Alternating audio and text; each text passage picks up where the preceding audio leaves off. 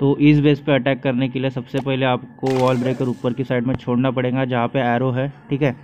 वहाँ से जो स्पेल है वो एक्टिवेट हो जाएगा।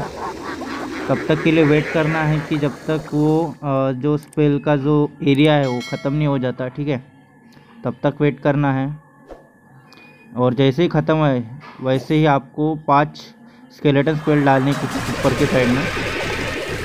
डालने के बाद एक वॉल ब्रेकर छोड़ देना है वहाँ से, दीवार फोड़ने के लिए तो जो कि अंदर चले जाएगा वहाँ से। ठीक है? भाई, ये अटैक थोड़ा ध्यान से देखना, क्योंकि इस अटैक में फेल होने के चांसेस बहुत रहते हैं, ठीक है?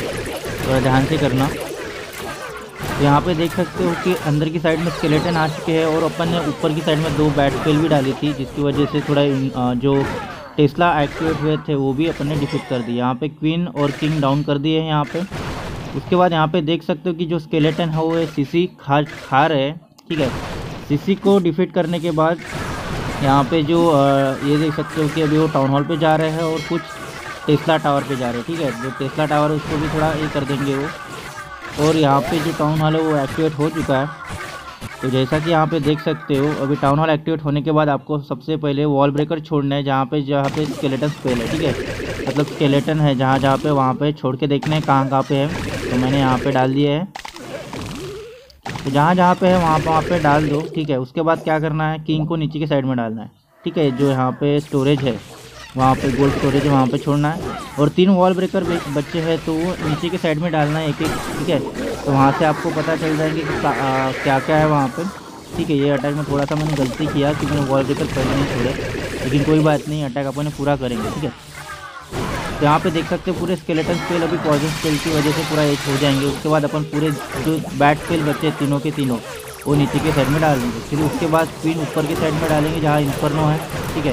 वो वहाँ पे उसको मारता रहेगा, ठीक है? क्वीन उसको भी एक डिफीट करते रहेंगे। उसके बाद यहाँ पे देख सकते हो कि और एक स्केलेटन का ये निकल चुका है, ठीक है?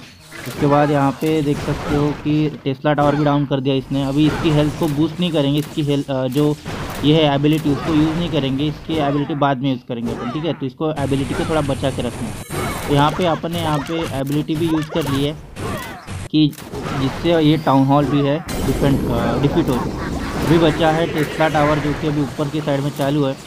और यहाँ पे देख सकते हो कि अभी क्वीन भी डाउन हो चुकी है। इसके बाद हम किंग की एबिलिटी यूज़ करके यहाँ पे देख सकते हो, अभी दो टेस्ला टावर तीन टेस्ला टावर थे जिसमें से एक पहले डिफीट कर दिया, अभी एक बच्चा है। ठीक है?